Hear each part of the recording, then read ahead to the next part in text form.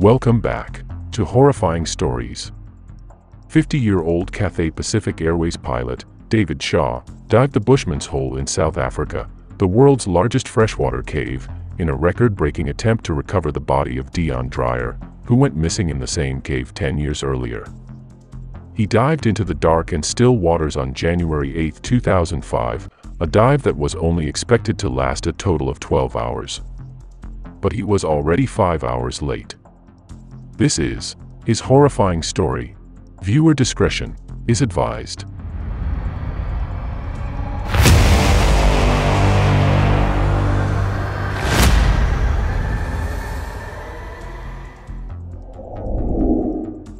It was only three months prior, in October of 2004, since David Shaw first found Deon Dreyer at around 886 feet deep. Divers who've dared to go into the depths of Bushman's Hole all knew Deon and his story. Deon Dreyer was of South African descent, coming from the little town of Vereeniging, 35 miles south of Johannesburg, South Africa. A thrill-seeker since his childhood, Deon already completed 200 dives by the age of 20 and was invited by the South Africa Cave Diving Association to an expedition to the Bushman's Hole. The group planned to descend up to a depth of 492 feet and asked Deon if he could be one of the dive supports. It was Christmas break of 1994 then, so without second thoughts, Deon was all in on the dive. Knowing the dangers of her son's upcoming expedition, his mother Marie Dreyer pleaded with him not to push through with the dive.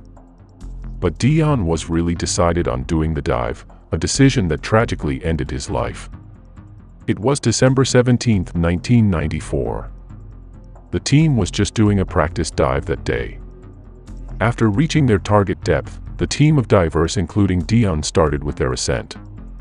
Upon reaching 196 feet, diving buddies did their regular exchange of hand signals. Everything looked good as Deon sent his signal to his buddy. However, when they reached 164 feet, a light from below them caught the team's attention. This prompted team leader Dyatlov Guillaume to do a quick count-off and it was then that they realized one diver was missing. At once, Guillaume dived down and started chasing for the light. Not long after, he realized the light was just descending too fast that chasing it would be suicide, and so, he stopped. Deon was believed to have suffered a deep water blackout due to excessive carbon dioxide. The Dreyers were immediately informed of their son's tragic ending. But Deon wasn't the first casualty at the Bushman's Hole. Eben Lyden's life was also cut short in the same cave when he blacked out at 200 feet a year prior. His diving buddy attempted to rescue him as he rushed him to the surface, but Lyden didn't make it. Two weeks after Deon died, his father Theo Dreyer rented a small remotely operated submarine from the De Beers Mining Company. During the search, they found his dive helmet on the cave's floor but sadly, his body had not been located. Knowing their son died doing what he always loved doing, Theo and Marie no longer made further efforts to retrieve their son's body and instead, put out a commemorative plaque on the rock wall above the hole's entrance. When Dave Shaw, an experienced Australian cave diver who had since been based in Hong Kong a few years back, discovered Deon's body, he was in the middle of a record-breaking attempt of diving at depths no diver has ever plunged into, with a closed-circuit rebreather set. Normally, divers do open-circuit diving which involves the use of regulators containing a mixture of gases. With regulators, no gas is ever recycled, all the gas inhaled by the diver is released as the diver exhales it. Closed-circuit diving on the other hand uses rebreathers, wherein some or all of the gas inhaled by the diver is recycled back into the tank. As the diver exhales, the rebreather takes the gas and takes out its carbon dioxide composition, before it recycles the breathing gas for the diver to inhale once again. Only highly skilled and trained divers use closed-circuit diving as it could get very complicated.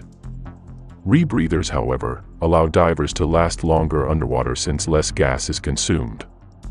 Subsequently, required decompression time also becomes shorter as less gas needs to be released from the body as well.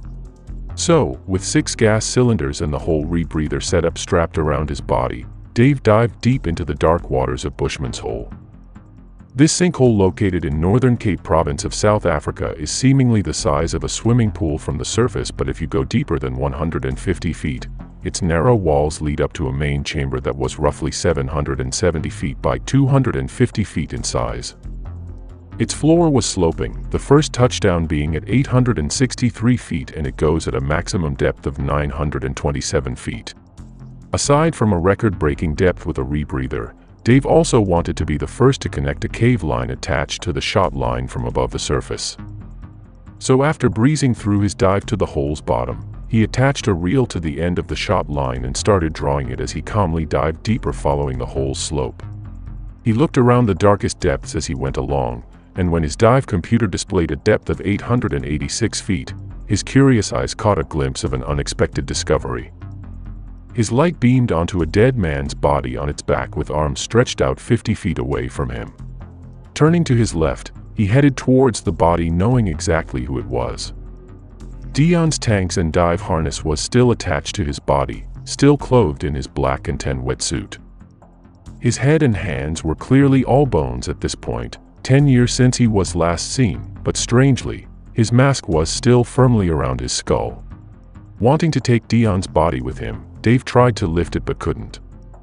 He kneeled down and attempted to lift it a second time but the body didn't budge even the slightest inch. Deon's equipment seemed to have been buried in the mud. Dave struggled to lift it out but immediately realized he was risking his own life at the depth that he was in. He was exerting too much effort and he was already a minute past the limit he set for himself so he tied the other end of the cave line to Deon's tanks and began with his ascent. When he reached the depth of 400 feet, his close friend Don Shirley who had been waiting for him checked his condition. As his condition was deemed good at that point, Dave took out his underwater slate and wrote that he found a body at 886 feet.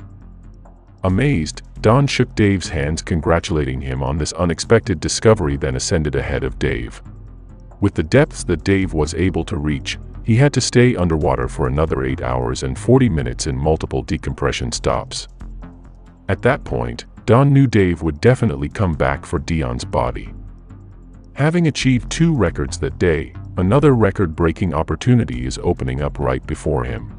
The world's deepest body recovery ever. And indeed, Don made no mistake. As soon as Dave resurfaced, diving back to Deon and attempting to recover the body was top of mind. Two days later, on October 30, 2004, Dave secured contact with the Dreyers, who despite having been resolved to the fact that their son would forever be in the depths of the Bushman's hole, got a change of heart immediately upon hearing the news from Dave. He went back home to Hong Kong and immediately started planning the details with Don Shirley of what they fondly called the Big Dive. Don and Dave were in constant communication, almost daily, as they only had around two full months worth of planning. They had scheduled the big dive early January of the following year and even consulted forensic experts on the condition of Deon's body. Although not exactly sure, they presumed Deon would already be mostly skeletonized considering it has been a decade since his tragic death. Not wanting to risk having Deon's bones fall apart during their ascent, Dave together with his wife and designed and made a long silk bag with drawstrings. The plan was to start the dive as early as 6 in the morning and was estimated to be completed in 12 hours. Dave was to go straight down to Deon at 886 feet, free his body from the mud, place it carefully inside the body bag and start ascending after the 20-minute mark. Don would follow 13 minutes after him to meet him at 725 feet, check on Dave's condition, and the body bag containing Deon's body was to be passed on to him as well.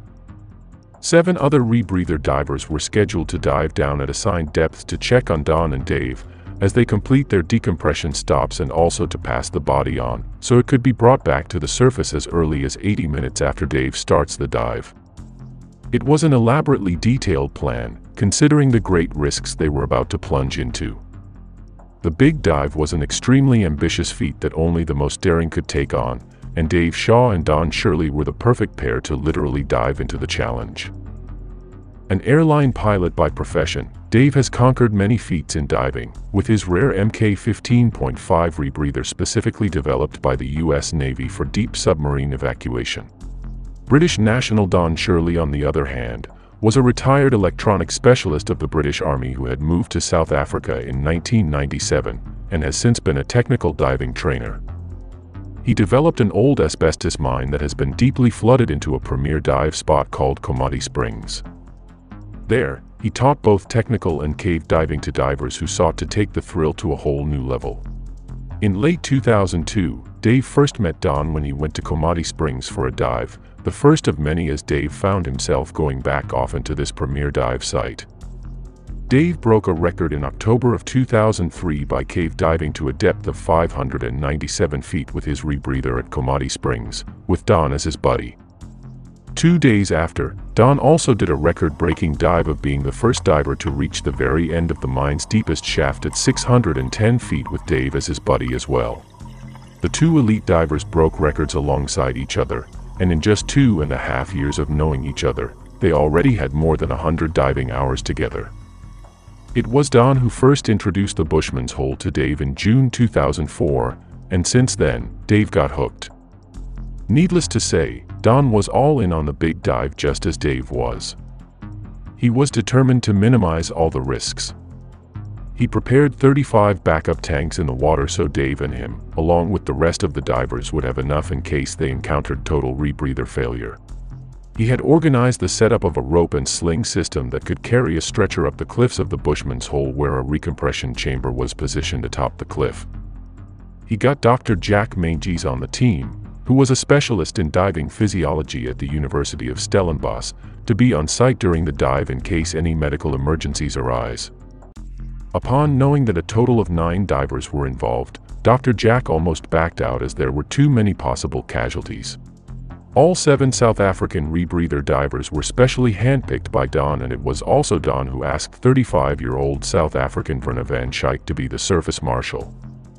If the whole team were an orchestra, Verna was to be the orchestra's conductor.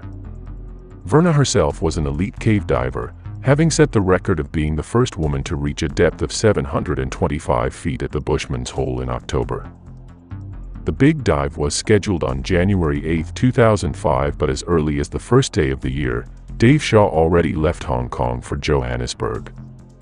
He arrived at Komati Springs on January 2, 2005 to practice getting a body into the bag underwater at a depth of 66 feet. Don took the role of being the body that was to be placed inside the large drawstring bag. It went well and only took around two minutes for Dave to successfully secure Don inside the bag. The following day they went to Mount Carmel, where the Bushman's Hole was located, to meet up with the rest of the diving team as well as a group of police that were supposed to oversee the whole activity since it involved a dead body. Three days before the big dive, Dave went on another practice dive to a depth of 500 feet to get himself accustomed with the underwater camera that he was about to use during the actual dive. He had partnered with South African documentary filmmaker Gordon Hiles to document the whole dive. The camera was a lightweight and low-light Sony HC-20 Handycam that had an underwater camera housing specially designed by Gordon and attached to a climbing helmet. Wearing a helmet underwater was something new to Dave.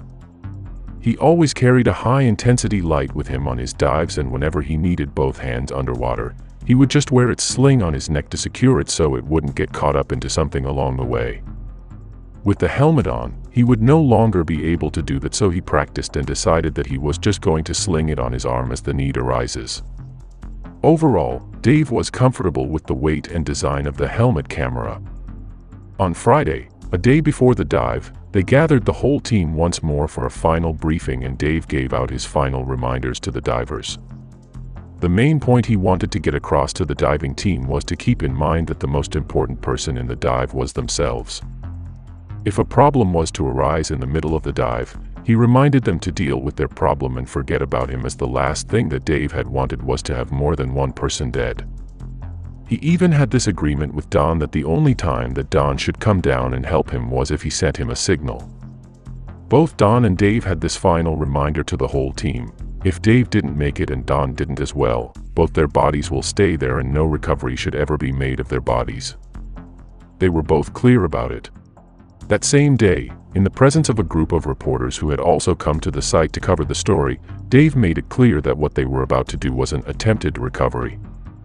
There were no certainties of being able to recover the body and that more than bringing Deon's body back to the Dreyers, he along with the rest of the team was in this for the adventure first and foremost. The night before the dive, Don was close to not making it to the diving team when a wire snapped in his equipment. After contacting the manufacturer of the damaged component, Don's friend Peter Herbst, who was also a diving instructor and a dive shop owner, was able to troubleshoot the problem so at the last minute, Don was cleared for the dive. Then on January 8th, it was D-Day for Don and Dave. They woke up at 4 a.m. and proceeded on a 10-minute drive to Mount Carmel. They headed down to Bushman's Hole and started gearing up for the dive along with the rest of the diving team, the support divers and the police divers. The paramedics and Verna, the surface marshal, had also already set up the necessary equipment on ground as well. By 6.13 a.m., Dave dived into the deep waters of Bushman's Hole. Theo and Marie Dreyer appeared on scene only minutes after Dave started the dive so as not to add pressure on Dave. Dave eventually reached the bottom of the shot line a minute and a half early, just 11 minutes since he had started. Then, he started to dive along the cave line that he had previously attached to Deon's tank. Upon reaching Deon, he took out the body bag and kneeled beside Deon's body as he tried to get the body out from being stuck in the mud. Although the helium and reduced nitrogen in his trimix were supposed to limit the effects of narcosis, he could still feel it starting. After 13 minutes, Verna gave the go signal to Don to dive next where he was supposed to meet up with Dave at 725 feet. However, at 500 feet, the clear waters made it possible for Don to see Dave's light that was almost 400 feet below him right where he expected Dave to be at that point.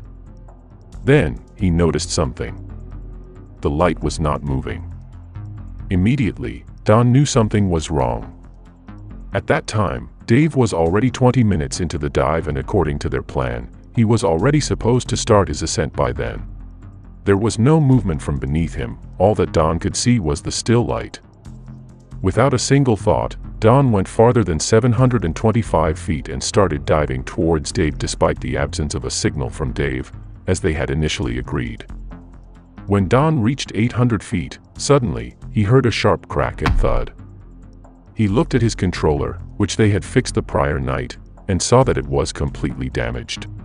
Without the controller, Don would be forced to monitor the oxygen levels in his rebreather as frequently as possible so he can manually inject oxygen into his breathing loop. Diving at such a depth with his own emergency situation, he knew his rescue attempt would end up with nothing but three dead bodies at the bottom of the hole. So Don decided to ascend instead as soon as he got his rebreather back under control. Now with the depth that he dived into, his decompression stops required him to stay underwater for the next 10 hours. Then on the 29-minute mark, Verna signaled support divers Dusan Stojakovic and Mark Andrews to meet up with Dave at 492 feet. As they approached their target depth, there were no signs of Dave nor Don. They were supposed to wait for a maximum of 4 minutes but they decided to extend for another 2 minutes before heading back up. When they looked down one last time, they saw one light but were not sure who it was. They wrote on their underwater slate that they did not meet either of the two despite waiting for six minutes and reported the light they saw as they ascended. The next two support divers were Peter Herbst and Lo Vingerling. The four divers crossed paths and the previous pair showed Peter and Lo the slate before continuing on with their ascent so they could get the word back to the surface marshal. Upon knowing of the single light, Peter decided to dive farther than his intended depth of 275 feet. Don was one of his best friends so he pushed a little further, until he reached a little beyond 400 feet. He stopped as he saw Don and checked if he was okay. Don signaled the OK sign then asked Peter for a slate. Don wrote on it four chilling words. Dave not coming back. Immediately, Peter turned his face downwards to counter-check if there really were no signs of Dave. But the vast underwater cave was just pitch black from the depth they were at. He checked on Don again before starting his ascent. Don met up with Lo Vingerling next. When he knew about it, he attempted to dive deeper to do a final check on Dave but Don stopped him. Meanwhile, on the ground, the Dreyers and the rest of the team waited. Their weight and all the uncertainty was nerve-wracking. Not a single person on the ground had the slightest clue of what was happening underwater. More than an hour after the big dive started, the police divers were supposed to resurface with Deon's body in a few minutes. Then they heard the clanging sound of the stones inside one of the plastic bottles which they left floating on the water. The bottles each had lines that dropped to 20 feet deep. At the end of the line was a clip which the divers could use to attach the slate so they could send a message to the ground even while waiting to complete their decompression stop. They pulled the line and got the first slate from Dusan and Mark about not having met up with either Don and Dave but seeing one light below.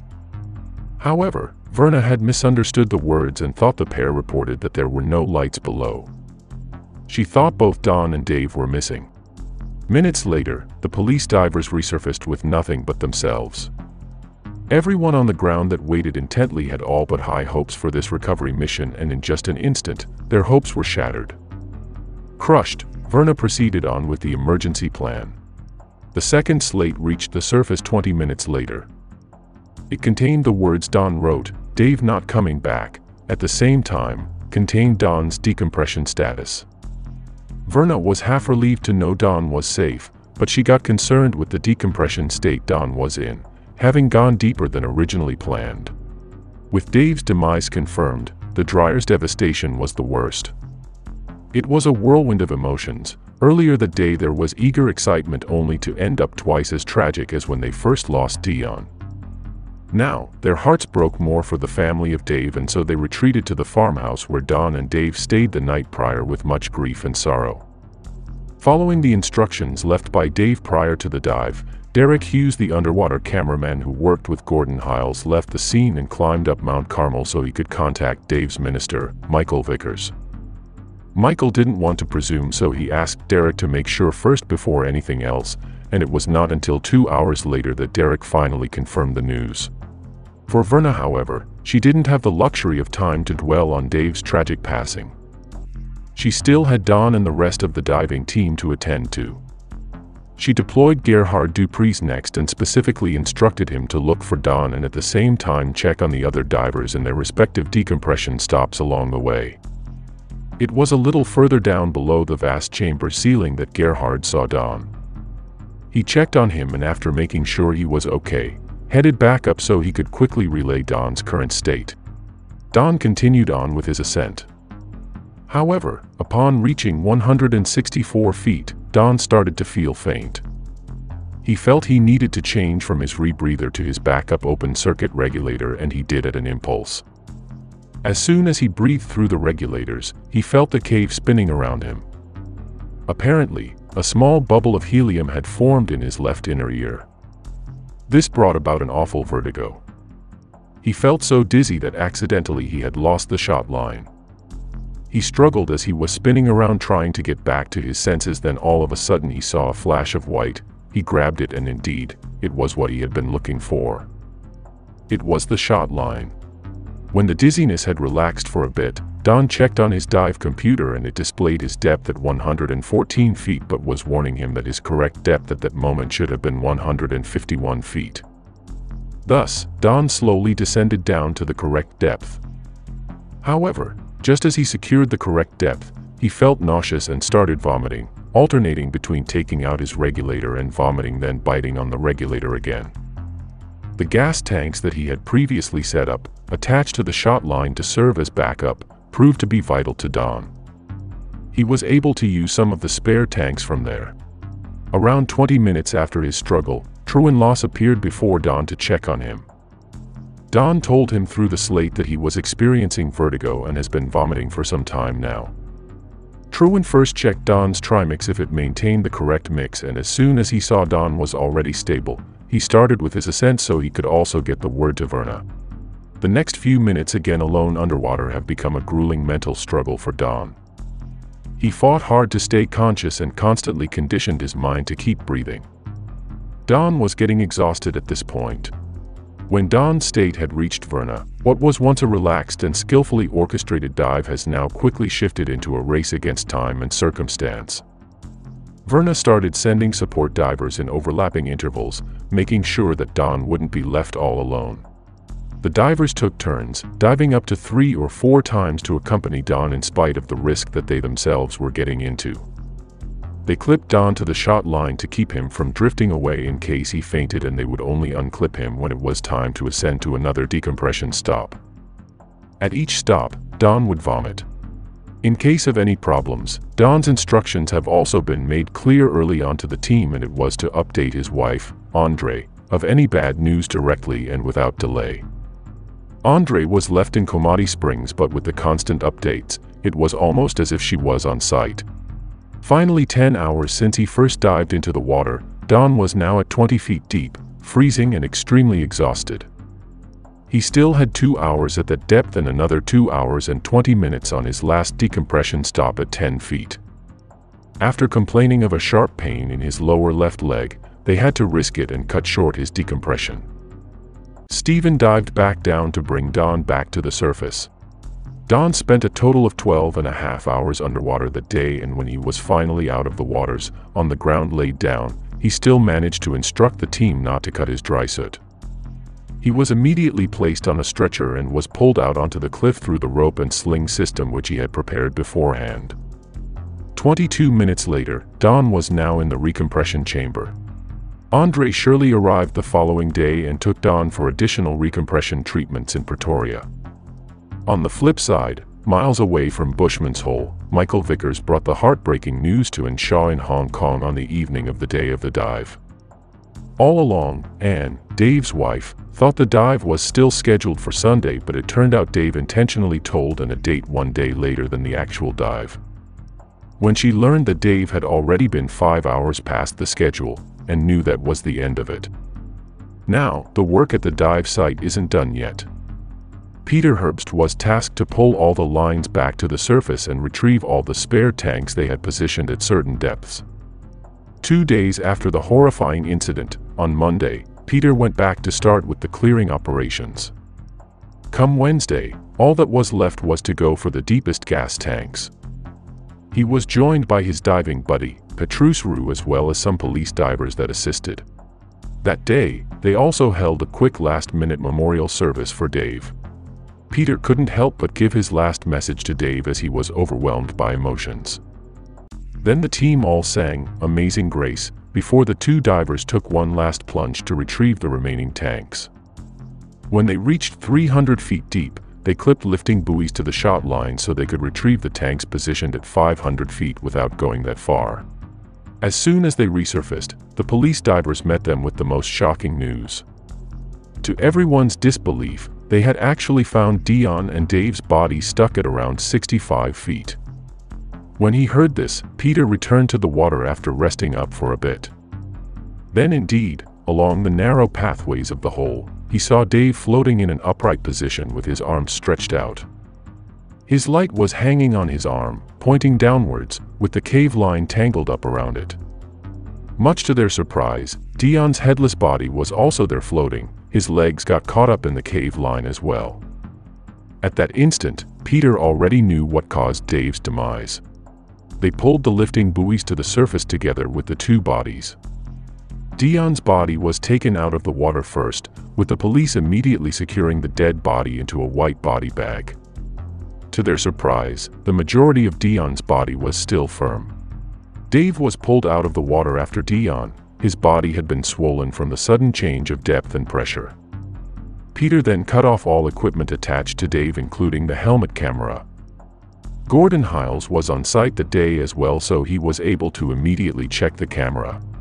The camera was still intact, and in it, the answers to all their questions. Though not always clearly visible, the camera was still able to capture all that had transpired during the big dive including the sound of Dave's every breath. In the video, Dave reached Deon at the 12 minute and 22 second mark, a minute since he first touched down the hole's bottom. As planned and practiced, Dave got his body bag and worked on clearing Deon's legs from being stuck.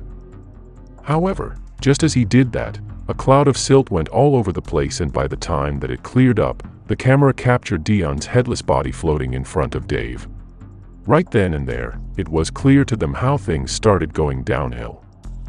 Everything went according to plan, everything was well prepared for, except for this one thing. they didn't expect Deon's body to float at all. Apparently, his body was not yet completely skeletonized and instead of decomposing, the body turned into a soap-like substance that had neutral buoyancy. A lot of scenarios have been considered, but not this one. It could have been a lot easier to slip a non-moving body into a bag than have a body freely floating at a depth of 886 feet as you try to secure it inside a body bag. They could clearly hear Dave starting to struggle, he grunted, and his breathing started becoming faster. As he was watching the video, Peter couldn't help it, saying out loud as if telling Dave to breathe slower. They wondered why it didn't come across David's mind to quit the dive and head back up, in the same way that he did back in October of 2004 when he realized his breathing had already increased. Dave kept panting, as Deon's body freely floated and he continued to try making it work. But with Deon's body already floating freely and the cave line attached to him, pulling his body to the surface could have been easily done. Tragically, at this point, Dave couldn't think clearly with the narcosis kicking in. Deon's body was starting to roll and float in different directions, making it all the more difficult for Dave to put the body into the bag. He even let go of his cave light just so he could work with both hands. Now this is one of the most important rules in diving. A diver should not allow any gear or equipment to hang loose. Then, the inevitable happened. Dave's cave light got caught up in the cave line prompting him to untangle it first. It had been more than two and a half minutes since he started working on Deon's body and already three minutes and 49 minutes since he first touched down on the hole's bottom. He began to take out his scissors so he could cut Deon's tanks loose after having been able to successfully wrap the bag around Deon's body. Then, all of a sudden, Dave slipped and lost his balance at the bottom of the bushman's hole. He panted as he struggled to grab the body back as the silt was again all over the place. Despite not being able to think clearly at his depth, Dave constantly checked the time on his dive computer. By the time he was already five and a half minutes at the bottom, he knew he badly needed to start ascending. And so, he started making his way up but his cave light got caught up in the line the second time. At this point, Dave breathed desperately as he started to panic trying to untangle it. He tried moving forward but Deon's body was dragging him down. He still had the scissors in his hands but he hasn't cut anything at all. At the 21 minute mark since he first dived, they could hear the sounds fading away, then one minute later, the movement stopped. Tragically the end of Dave's life. Meanwhile, Don spent seven hours in the recompression chamber that was on standby at the cliff overlooking the Bushman's Hole. The chamber had been pressurized to a depth of 98 feet to shrink the helium bubble in his head that caused him severe vertigo underwater. Don was still very weak when he came out of the chamber, so Peter accompanied him as they stayed the night there. While he was recuperating, receiving additional recompression treatments at Pretoria where Andre had taken him, Don finally got to watch the painfully tragic video of Dave. Wanting to see for himself, he watched the video intently on a large screen at the hospital with Peter Herbst and Dr. Franz Cronje, his attending doctor and also part of the official investigation team. As he watched the video, Don couldn't help but unconsciously follow Dave's breathing. Out of nowhere, an idea came to mind. He wanted to do an experiment to follow exactly how Dave breathed from the start of the dive up to his last breath just so they could come to fully understand what happened to Dave. With a CO2 monitor in his mouth, he wore headphones and played the video one more time, with Dr. Franz closely monitoring. Each time Dave breathed, Don also breathed and it came to a point where Don was doing 36 shallow but exceedingly rapid breaths per minute. Dr. Franz noted that it was hyperventilation to a very great degree, excluding the fact that he was on rebreathers at such great depths. When Dave's breathing slowed down to six breaths per minute prior to losing consciousness at the bottom, Don was almost also on the edge of passing out at his hospital bed. He could barely even move and it took 30 minutes before Don could regain control of his breathing. It was then that Dr. Franz came to a conclusion that Dave had actually passed out due to carbon dioxide buildup before eventually drowning in the deep waters of the Bushman's Hole. In a span of two weeks, Don had to undergo 10 other chamber sessions bringing the recompression treatment to a total of 27 hours. It took more than a month before he could think clearly or walk with stability. Don improved over time, but the effects of helium had left a permanent effect on his balance. In May that same year, he went back diving for the first time with Peter on close watch, and was overwhelmed with relief that the big dive didn't steal from him the very thing that he loved doing the most. Cave diving. Don and Peter, as well as Nuno Gomes, who was the first diver to have reached the hole's maximum depth of 927 feet, all had this to say about Dave's tragic dive. All that Dave ever planned for was to put Deon's body inside the bag. He stuck to his plan and lost his focus on the dive itself, his mind was fixed on Deon's body and at the depth that he was in. Crafting a new plan was just impossible for his mind to do. In spite of the big dive's tragic ending, the whole team didn't think it was reckless. Everyone in the team confidently believed that it was going to be a successful and worthy dive. It wasn't just all about Deon. Verna herself said that with or without Deon, Dave would still have done it anyway. He was still going to dive back to Bushman's Hole. In the end, the attempted body recovery was indeed successful. Deon's headless body had been retrieved. On top of that, rebreather diving was taken to record-breaking levels once more. Only tragically, at the expense of Dave's life. The Dreyers couldn't believe seeing their son's dead body still in its flesh. For Dave's wife Anne, she grieved deeply at her husband's untimely passing but deemed it would be best to scatter Dave's ashes in South Africa, the very place that he has come to love. So, in May of 2005, Don and Andre Shirley drived up from Komati Springs to a summit nearby and threw David Shaw's ashes into the air as they solemnly basked in the setting of the African sun. Thank you for making it this far. If you liked this video, do hit the like button and don't forget to subscribe to our channel. Let us know what you think about this story. We would love to hear from you. Again, thank you and see you in the next one.